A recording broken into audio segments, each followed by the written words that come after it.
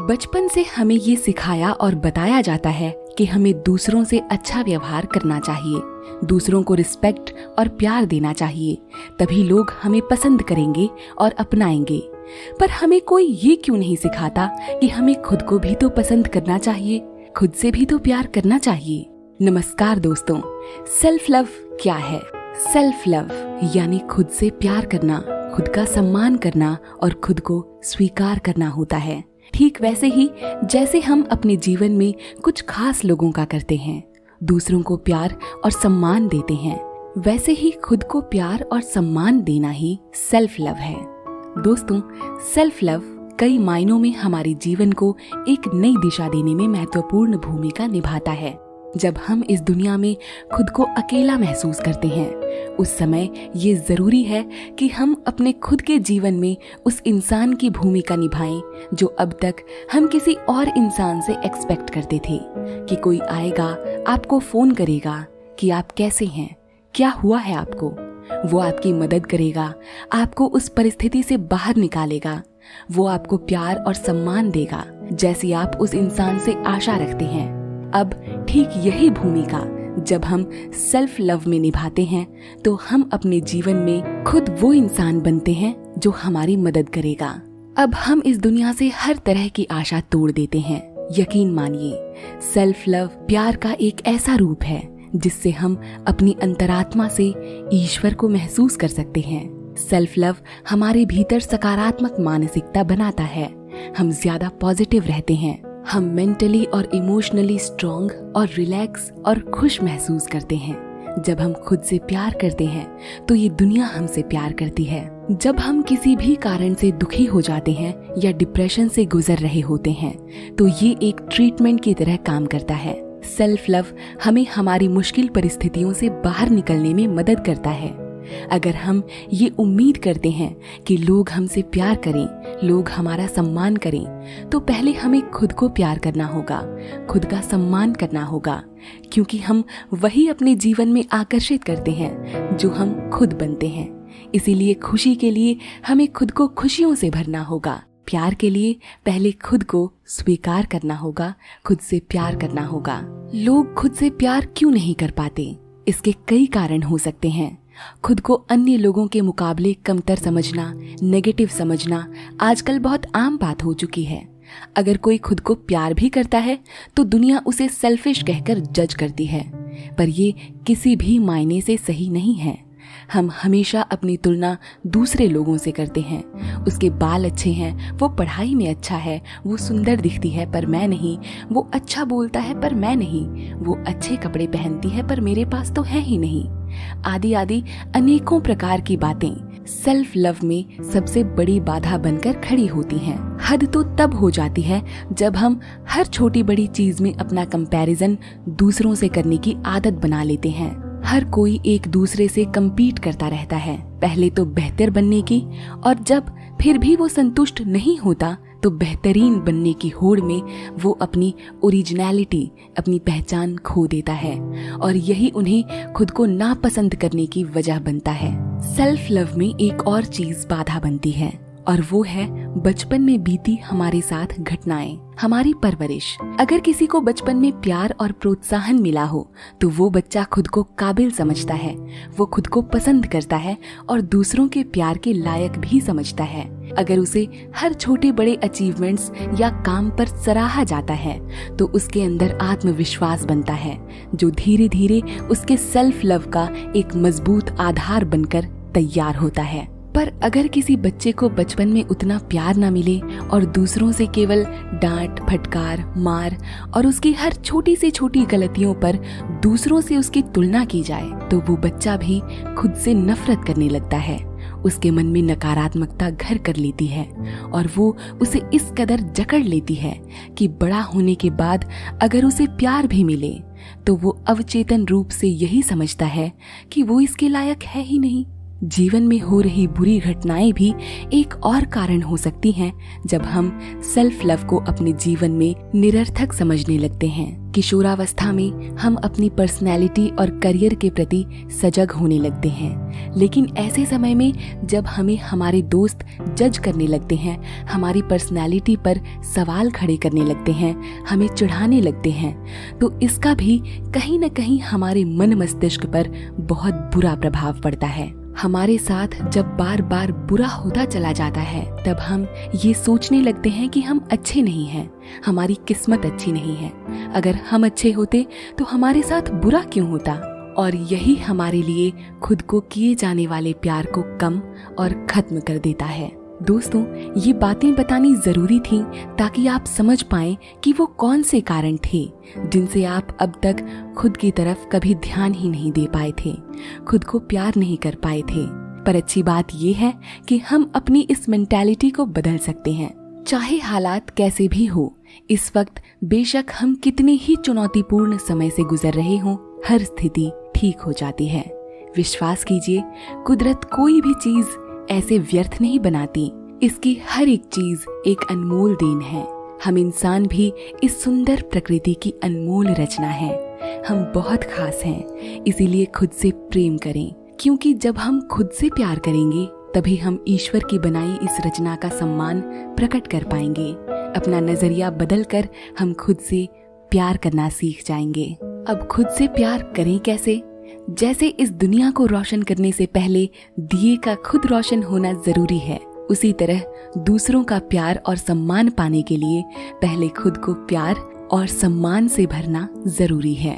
Self love बहुत आसान है। जी हाँ बस जो फ़िक्र अब तक आप अपने जीवन में उन लोगों की करते आए थे, जिनकी आपकी ज़िंदगी में एक खास जगह है, अब आप ये फ़िक्र खुद की करेंगे, खुद का ध्यान रखेंगे। खुद से पूछेंगे, क्या तुमने खाना खाया? खुद को माफ़ करेंगे एक्सेप्ट करेंगे। दोस्तों when you love yourself the world loves you more आप कई तरीकों से खुद को प्यार दे सकते हैं। आइए कुछ इम्पोर्टेंट तरीकों के बारे में बात करते हैं, जिनमें सबसे पहला तरीका है खुद की कमियों और खूबियों को जाने। ये बहुत ज़रूरी है। हर इंसान, चाहे वो जिस भी स्वभाव का हो, उसमें कुछ खूबियाँ और कमियाँ तो होती ही हैं।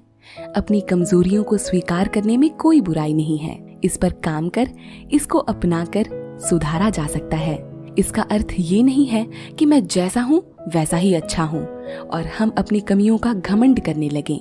नहीं, अपनी कमी को जानकर, उस पर काम करके आप खुद का ही बेटर वर्जन बन सकते हैं। इसी तरह, हर इंसान में बहुत सारी अच्छी खूबियाँ भी होती हैं, आप में भी हैं। इस पर भी काम करें और अपनी काबिलियत को और निखारें। इससे आपका आत्मविश्वास और बढ़ेगा और आप और ज़्यादा ग्रो कर पाएँगे पॉजिटिव रह पाएँगे। सेल्फ लव का दूसरा तरीका है, खुद को अपने अतीत की गलतियों से बाहर निकालें और आगे बढ़ें। दोस्तों, हर इंसान के अतीत में कुछ ऐसी यादों का पिटारा ज़रूर होता है, जिसे याद कर वो इंसान बार बार दुखी और परेशान हो जाता है। शायद इसमें उसके साथ कुछ बुरा घटा हो सकता है। कई लोग इस अतीत के इन दुखों में इस कदर उलझ जाते हैं कि वो अपने आज को भी भूल जाते हैं।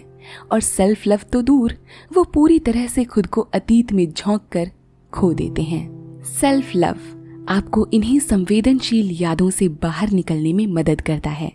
इसके लिए पहले तो अतीत की उस घटना को स्वीकार कर लें। जो हो गया, सो हो गया। उसे आप बदल नहीं सकते।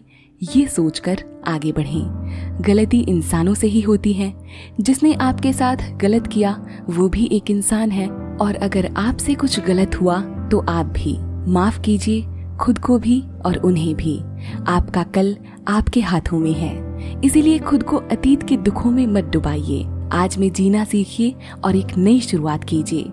हम सब आपके साथ हैं। खुद से प्यार करने का ये भी एक बड़ा तरीका है। सेल्फ लव का तीसरा तरीका है उन लोगों से दूरी बनाइए जो आपको नीचा दिखाते हैं। खुद के लिए कदम उठाइए। हमें हमेशा एक अच्छी संगति का चुनाव करना चाहिए। अगर आपके दोस्त या कलीग्स आपको हमेशा बुरा बोलते हैं और आपको किसी लायक नहीं समझते तो आप भी कहीं ना कहीं खुद को धीरे धीरे ऐसा समझने लग जाएँगे। लेकिन इसके विपरीत, अगर कोई आपको प्रोत्साहित करता है आप में पॉजिटिविटी भरता है तो आपका आत्मविश्वास बढ़ेगा और इससे खुद के प्रति आपका प्यार बढ़ेगा। खुद को बुरे यानी टॉक्सिक लोगों से बचाएँ और खुद को अच्छे लोगों के ग्रुप से जोड़ें, क्योंकि जब आप प्यार करते हैं तो आप अपने प्यार में नकारात्मकता की हर छाप को मिटा देते हैं। अब जब ये प्यार खुद से है तो हम पीछे कैसे हट सकते हैं? सेल्फ लव का चौथा तरीका है, अपना ध्यान रखना। Take care of yourself जब हम किसी को खुश करने के लिए अच्छे से तैयार होते हैं तो खुद के लिए भी तो कभी तैयार हो ही सकते हैं। लेकिन तस्वीरें तो कुछ और ही बताती हैं। जब कोई नहीं होता तो हम अपना बिल्कुल भी ध्यान नहीं रखते, खुद की केयर ही नहीं करते। हम जैसे रहते हैं, जो देखते हैं, जो खाते हैं, इन सब का हमारे जीवन पर बहुत बड़ा असर पड़ता है। इसीलिए आप किस तरह के मनोरंजन का चुनाव कर रहे हैं, इसका भी ध्यान रखें। अपनी सेहत, अपने खाने पीने का ध्यान रखें, पौष्टिक और सेहतमंद खाना खाएँ।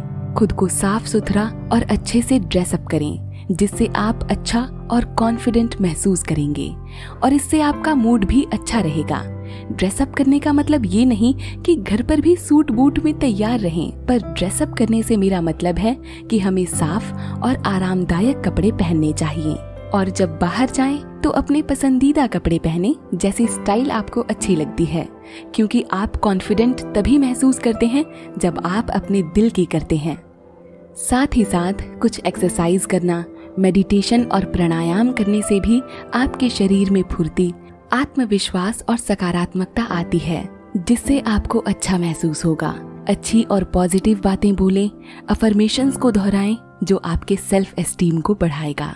सेल्फ लव का पांचवा तरीका है, नकारात्मक बातें बोलना छोड़ दें और ग्रेटिट्यूड की प्रैक्टिस करें। हम कई बार खुद को नकारात्मक सलाह देते हैं, जैसे, मुझसे ये नहीं होगा, या मैं इस लायक ही नहीं, या मैं इतनी सुंदर ही नहीं हूँ। और यही बातें हमें कमज़ोर भी बनाती रहती हैं और हमें डराती भी हैं। इसीलिए नेगेटिव सेल्फ टॉक की आदत को आज ही छोड़ दीजिए। विश्वास कीजिए, आप सब कुछ कर सकते हैं। जब आप ये विश्वास भर कर लेते हैं तो आप अपने आप में अपने हर सपने को पूरा करने की काबिलियत पा लेते हैं। हमारे जीवन में जो ठीक नहीं चल रहा है, उसी पर ध्यान देते रहना, ये हम इंसानों की बुरी आदत है। लेकिन सब दिन एक जैसे नहीं होते। समय बदलेगा और आपका टाइम भी आएगा। पर जब हम उन्हीं नकारात्मक चीज़ों पर ध्यान देते रहेंगे तो हमें ऐसा लगेगा जैसे जीवन में कुछ अच्छा है ही नहीं। लेकिन ऐसा कभी नहीं होता कि आपके जीवन में बस बुरी ही चीज़ें हों। हर किसी के जीवन में कुछ न कुछ अच्छा तो होता ही है। बस हमें अपने नज़रिए को बदलने की देरी है। उस तरफ़ ध्यान दीजिए जो अच्छी चीज़ें अभी आपके साथ हैं। उनसे खुश रहिए और प्रकृति के प्रति शुक्रगुजार हो जाइए। हम इंसानों में एक और आदत होती है और वो है बहुत सारी इच्छाएँ और आशाएँ। जैसे ही हमारी एक इच्छा पूरी हो जाती है, हम दूसरी इच्छा बना लेते हैं। ऐसे में इस बात की क्या गारंटी है कि अभी आपके पास जितना है, उससे ज़्यादा आपको मिल भी जाए तो आपकी इच्छा नहीं बढ़ेगी। इसीलिए जो आपके पास है, पहले उससे खुश होना सीखिए, क्योंकि जितना आपके पास है, शायद उतना पाना भी किसी का सपना है। इसीलिए हर छोटी से छोटी खुशी के लिए ईश्वर का और इस प्रकृति का धन्यवाद कीजिए। से थैंक्स टू यूनिवर्स क्योंकि आप जितना धन्यवाद करेंगे, अपनी खुशियों को आप उतना ही मल्टीप्लाई करेंगे। सेल्फ लव की आखिरी टिप है, खुद की आलोचना या बुराई ना करें, बल्कि खुद को अप्रिशिएट करें। एक सबसे बड़ी गलती जो हम अक्सर करते हैं, वो है खुद की आलोचना करते रहना। हँसी मज़ाक में भी कई बार हम खुद के लिए बहुत नेगेटिव बोल जाते हैं। लेकिन आपको पता भी नहीं चलता कि आपके द्वारा बोली गई बात का आपके जीवन पर क्या असर पड़ सकता है। जब इसी आलोचना में अन्य लोग भी शामिल हो जाते हैं, तब आपको अच्छा नहीं लगता और यही हमें खुद से प्यार करने नहीं देता।